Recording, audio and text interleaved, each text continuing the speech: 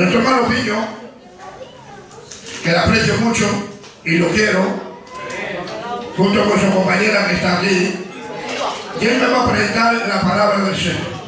Venga, hermano Piño. Doy millones de gracias, Señor, por lo que llamamos de culto, Padre mío, por el buen ambiente y la buena armonía que hay, en tu amor y en tu presencia, Padre amado. Te quiero presentar a tu siervo delante de ti, Señor, para que tú lo utilices, Señor mío, para hablar a tu pueblo una vez más, Señor, que podamos escuchar tu voz, Dios mío, tu mensaje y tu consejo llega a lo más profundo de nuestras vidas y nuestros corazones, Señor. Gracias, Padre, porque nos vas a hablar y te vamos a escuchar de todo corazón. En nombre de Jesús. Amén. Diga gloria a Dios. Digan aleluya. Aleluya. En el reloj son las 8 y 25. Y voy a estar pocos minutos, unos 7 8 minutos, el mensaje que ya está esto la tarde, pero que me aguanten los 7 8 minutos que me quedan. Solamente estaré una hora por el tiempo es de Dios. Digan gloria a Dios. Digan aleluya. Leemos la palabra del Señor allá en Segunda de Reyes, capítulo 5, 1 en adelante, dice así, Eliseo y Namán. Dice, Namán era general del ejército de rey de Siria, era varón grande de, delante de su señor y tenía en una última estima porque por medio de él habían salido de Jehová una salvación a Siria. Era este hombre varón y por amor de Jehová no fue destruida porque Jehová estaba con él. Y dice la escritura, él era un hombre lleno de lepra. Diga gloria a Dios. Gloria a Dios. Diga aleluya. Aleluya. Donde hemos leído la escritura, dice la escritura que Namán era general del ejército de esta ciudad de Siria.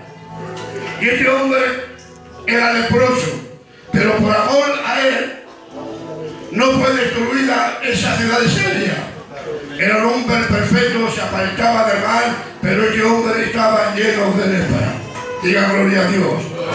Digan aleluya. Aleluya. Qué bueno, hermanos, este hombre, Namán, era un hombre perfecto que por amor a él, esa ciudad de Siria no fue destruida por amor a él. Pero que dice que el pueblo de Israel había una muchacha del pueblo de Israel que era cristiana y salieron bandas amadas del pueblo este de la ciudad y la capturaron. Y esta joven, hermano, la escritura dice, esta muchacha era cristiana, una cristiana del pueblo de Israel. Pero vemos, hermanos, que Namán estaba lleno de lepra. Y esa ciudad era importante, la apreciaba mucho, porque se, se apartaba del mal y hacía las cosas buenas delante de Dios. Y por amor a Dios, esa ciudad no fue derribada ni fue destruida por amor a este hombre. Amén, amén. Pero a mí me llama mucho la atención de que este- esta joven del pueblo de Israel la habían capturado y la trajeron a mar, salieron unas bandas y la, la cogieron y la trajeron a mar. Y esta joven sería a la mujer de la mar. Y ahí con ella le, le contaba a esta mujer, a la mujer de la mar, que en el pueblo de Israel había un hombre, un profeta, que le podía sanar de su lepra. Diga gloria a Dios. Diga aleluya. Aleluya. Pero vemos, hermano, la escritura que estamos hablando de la lepra. Había diez hombres que estaban llenos de lepra. Dice la escritura que estaban llenos de lepra, pero solamente vinieron diez al Señor para que la lepra fuese limpiada. Porque aquella persona, estos hombres, dice en el Viejo Testamento que cuando un hombre o una mujer estaba llena de lepra, era echada fuera del campamento, tiene que ser aparte. Y para cuando al pueblo, tenían que ponerse campanilla para cuando fuera esa persona leprosa, la campanilla sonaba y la gente corría porque tenía miedo, porque se apagaba. Por eso dice que tenía que llevar campanilla para que, fuese cuando sonaba la campanilla y entraban al pueblo o a la aldea, sonaba la campanilla y corría porque tenía miedo. Pero vemos, hermano, la escritura que dice que los tenían que poner fuera, afuera de una aldea, fuera de una aldea, para que así no entraran a ese pueblo para no contaminarlo. Diga gloria a Dios. Diga aleluya. Pero a mí me llama mucho la atención que de 10 vino uno solamente a dar gracias al Señor. Mira al Señor y dice, Señor, por tú lo que me has hecho, porque me has limpiado de la lepra que yo tenía. Y ahora el Señor contesta, le dice, ¿y dónde están los que faltan, las nueve que faltan? Pero este hombre se dio de cuenta que el Cristo de gloria le había sanado y por eso vino en busca de maestros de Galilea. Amén.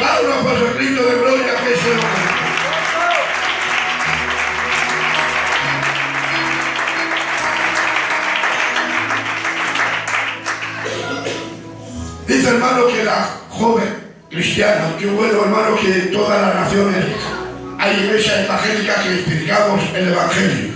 Amén. En todos los sitios del mundo de España y fuera de España hay iglesias evangélicas que predican el Evangelio. Pero esta hermana, esta joven, fue algo especial. Y qué bonito que esta joven a la mujer de la madre le estaba diciendo, hoy señora mía, si tú conocieras que en el pueblo de Dios en Israel hay un profeta que lo puede curar a su marido de su lepra, diga gloria a Dios, digan aleluya. ¿Sabéis algo? Que dije sobre algo. Amén. Hay muchas veces que la lepra se ve por la parte afuera, pero la lepra se mira por adentro. Amén, amén. Muy bueno. Sí, Señor. La lepra está por dentro que no se ve. Hay veces que hay unas zorrillas pequeñas que no las vemos y están por dentro. Hay en las viñas. ¿Y cuál lo hace cuando está en una viña? Las zorrillas esas pequeñas que no tienen importancia se van comiendo granos de uva. Verdad. Diga gloria a Dios. Gloria a Dios. Diga aleluya. Aleluya. Se la están comiendo. ¿Y sabéis por qué viene a veces que el fruto viene como se van comiendo a poco a poco las uvas y van- se van comiendo la madera poco a poco, se va pudriendo? Yo digo algo, hay que mirarlo por dentro, el espiritual como nos encontramos nosotros.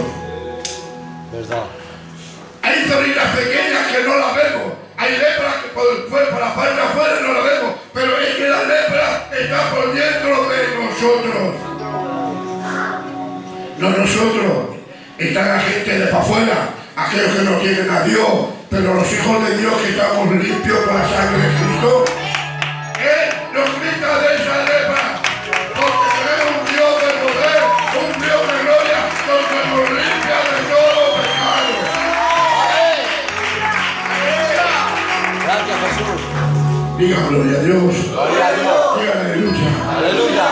Y ahora, la mujer de Namán, mira, Namán, me ha dicho la criada que tenemos, que es cristiana, que allá en el pueblo de Israel hay un hombre, un profeta llamado Eliseo, que lo puede sanar de su enfermedad, de su lepra. Diga gloria a Dios. Gloria a Dios. Y ahora, hermano, eh, su mujer se lo cuenta y le dice, pues no te preocupes, vamos a ir al rey ahí de Seria, de Namán, vamos a ir, le llevaremos muchas cantidades de muchas cosas, de mucho dinero, de mucho valor al rey de Israel. Y este hombre, Namán, se criaba pensando que con el dinero se compraba Israel, el rey de Israel. Le mandó mucha riqueza, le mandó de todo. Y dice hermano que le mandó una carta para a él. Y le dice la carta, cuando lee la carta, el rey de Israel se queda asombrado. Pero ¿qué me dice este hombre? Si yo no puedo hacer nada, si solamente lo puede hacer la mano de Cristo, de Jehová de los ejércitos, que lo puede limpiar de su lepra. Y dice que este rey de Israel se rajó la ropa, se rompió toda la ropa, si no, no puedo hacer nada. Pero decirle que allá en el pueblo de aquí hay un siervo de Dios, Eliseo, que lo puede sanar de su lepra. Diga gloria a Dios. Gloria a Dios. Digan aleluya. Aleluya. Lo estoy diciendo un poco para adelante para acabar enseguida. Y ahora dice, hermanos, que este hombre Namán coge, hermanos, su guerrero que tiene, tiene su pueblo, y dice que van al pueblo de Israel. Pero él pensaba que cuando llegaba a Israel, ante Eliseo se iba a encontrar con mucho, con un palacio, para que pasara Namán. No, ahí no se sabía lo que se encontró. Al encuentro salió un criado de Eliseo. Digan gloria a Dios. Digan aleluya. Un criado salió a recibir a, a Namán, un criado del profeta Eliseo. Y dice, pero ¿cómo es esto? Que le sale un hombre, un hombre, yo pensaba que lo conozco al profeta, pero es posible que le salga un criado. Y ahora Eliseo le dice, mira criado, ves, sal y dile que se meta siete veces en el río de Jordán. Y fue hermano este criado de Eliseo y se lo dijo ahora a Eliseo Namán. Y ahora cuando sale, pero ¿cómo es esto? Pensaba que iba a salir el rey, uno importante, pero salió un criado a recibir a Namán. Y ahora dice este hombre que sale, mira, me ha dicho el siervo de Dios que te metas en el río de Jordán siete veces y tu lepra será quitada. Y ahora este hombre Namán se enfadó brutamente. ¿Acaso no son mejores los ríos de Jordán? Los ríos donde estaba él, de Damasco para donde estaba. ¿Acaso son mejores los ríos que tengo, esa agua cristalina? Más cerca de ti, el agua y tú siempre me puedo meter. Él bruto. Y ahora dice otra vez que vuelve y me dice, mira, el, el mismo criado, mira Eliseo, este hombre ha enfadado bruto y no quiere saber nada, que dice que son los mejores niños en Damasco. Y ahora hermano vuelve otra vez este hombre y le dice, mira, ¿ves? Y dile esto, que se meta siete veces en el río Jordán y su lepra será sanada. Por eso hermano obedeció la voz que le dijo este hombre. Y dice hermanos que se metió siete veces en el río Jordán. Y se metió siete veces. Y él igual se preguntaría, si por una vez solamente me sobraría. Pues se metió una, dos, tres, cuatro, cinco, seis y siete veces. Y a las siete veces fue limpiado de su lepra. Porque Dios cuando se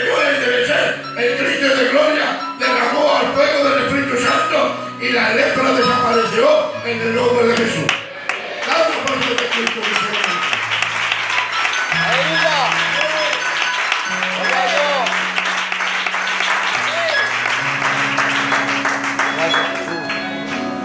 Pero dice hermano la escritura, para acabar, dice la escritura, carros de combate y de guerra fueron a la casa de Eliseo y criado. Fueron carros de combate de guerra. Y sale el criado y le dice, mira Eliseo, los carros de combate y de guerra vienen y solamente ese bordón nos van a tirar a fuego, nos van a matar, nos van a destruir, porque solamente estaba Eliseo y el criado. Nos van a matar en el combate los que son hombres valientes, guerreros de Dios, no tienen temor a nada. Y le dice al criado, mira, tú ves con los ojos del mundo, pero Eliseo miraba con los ojos, con los ojos en su corazón. Y miraba y decía, mira, criado, abre los ojos y verá alrededor, de- alrededor de mi casa los ángeles que hay. Había un ejército de ángeles que no los podía contar.